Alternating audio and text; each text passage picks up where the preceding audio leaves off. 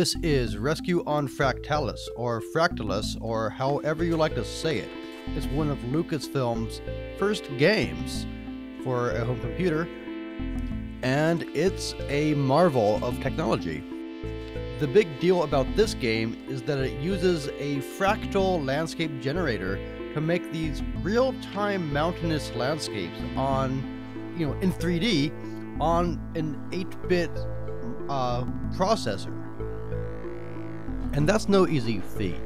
I mean, not only have I not seen an engine like this since, but engines that used, say, polygons actually ran much slower from what I saw back then.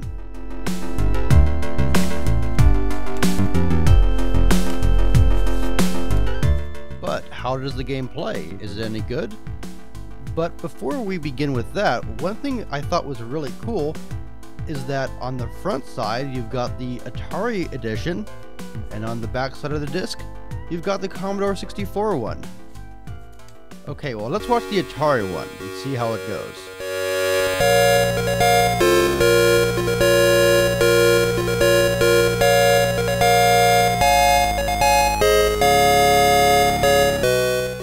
One thing to keep in mind is that this is a really easy game. So let's start on level 16. And let's watch this really cool launch sequence we've got here.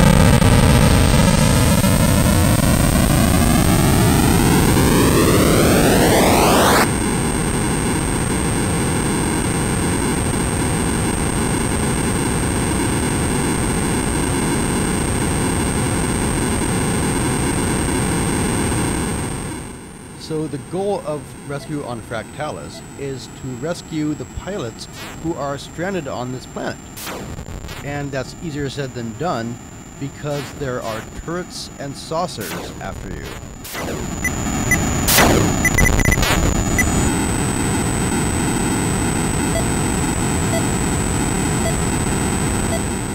That beeping you hear means a pilot is nearby. And you can see that little green blip on my main screen. That's the uh, that's the ship. And what you do in this is you turn your shields off, the pilot comes running, and you wait for him to bang on the airlock, and then you let him in.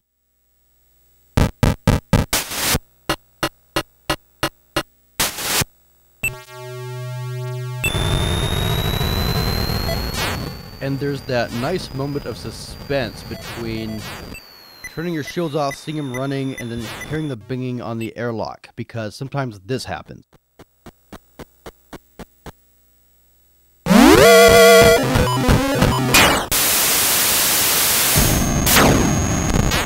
Yeah, so you've got aliens masquerading as pilots to rescue in this game. And that's one of the only things that can actually kill you in this. Um, I mean, watch as I'm taking hits from laser cannons and I'm barely getting damaged. And not only that, but every guy you rescue gives you a little bit of energy back. So this game is really light on challenge. And that's a shame because the rest of the game is really good. It just doesn't have that old school intensity that you'd expect from a game like this.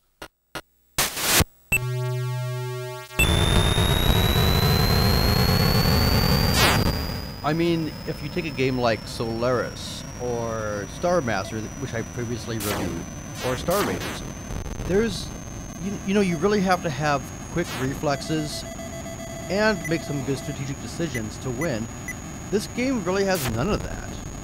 It does have really cool day-night cycles, but yeah, almost everything positive that I'm saying about this game has to do with the graphics engine or has to do with kind of the, the layer of, of polish that it has. And let's talk about the gauges you're going to look at. On the very left is a column of vertical lights, that's your thrust. Next to that lights up when you get close to the ground and shows the terrain. You've got your artificial horizon. Then you have a altimeter that also shows kind of a zoomed out view of how high the ground is. There's a radar that shows where gun emplacements are and ships that you need to rescue. Beneath that shows when you're being locked onto. You've got your green energy meter. And to the right of that is your long range scanner. There's also that yellow horizontal bar at the very top of, the, of this screen and that shows how much wingspan clearance you have before you hit a mountain. And then you have these gauges, the range to the nearest pilot, enemies destroyed, and pilots left to rescue. I also want to take a second to say how impressed I am with Atari's 8-bit computer hardware. I mean, I'm a Commodore guy. I grew up on the Commodore 64, I got an Amiga, um, but Commodore is not known for their build quality. I am playing this in part because my Commodore's power supply blew up, um, which is not uncommon. Um, looking at the Atari, it seems a lot more solid. It came out earlier. I, I believe it came out in um, 79. It loads fast. I mean, the disk drive actually loads this game in under a minute. Um, very impressive. You know, and the LucasArts screen comes on about as soon as it starts loading. So, um, the Atari might have won my heart. it, it, does have some shortcomings compared to the Commodore for sure. Um, I, I, believe the resolution is lower. The, um, the sound chip's definitely not nearly as good.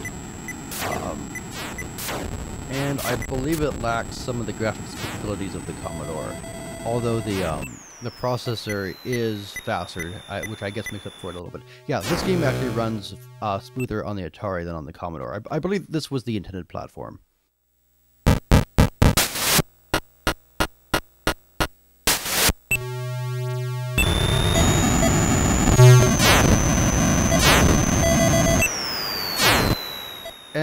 As it gets towards nighttime, you'll have to fly through these canyons using just these gauges. And you'll refer to them a lot anyway, because that's the most accurate way to fly to begin with.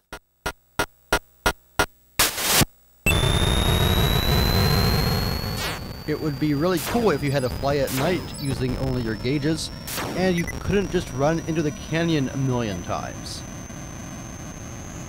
Here's some of that day to night transition I was talking about. It gets very dark and then it phases out and becomes pitch black. And enemy turrets will illuminate the night sky. I don't know why your guns don't, but theirs do. Worth noting is that you turn your shields off so that the pilot approaches. If you turn them back on, the pilot gets zapped. And that's how you dispatch of these um these aliens.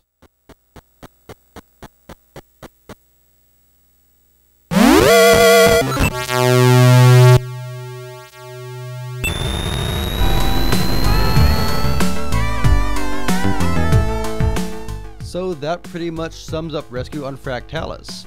If you're a collector, um, it's really nice to have in your collection. If you're just going to be a game player, then I don't know if I can really um, wholeheartedly recommend this one, unless you're really interested in graphics. If you're looking for a really cool early LucasArts game, I'd recommend Ballblazer over this. If you're looking for a first-person space shoot 'em up game, I'd recommend Skyfox over this one. But if you absolutely have to have Rescue on Fractalis, get the Atari one. It actually runs a little bit faster. Okay, cool. Thanks for watching, and I'll catch you next time.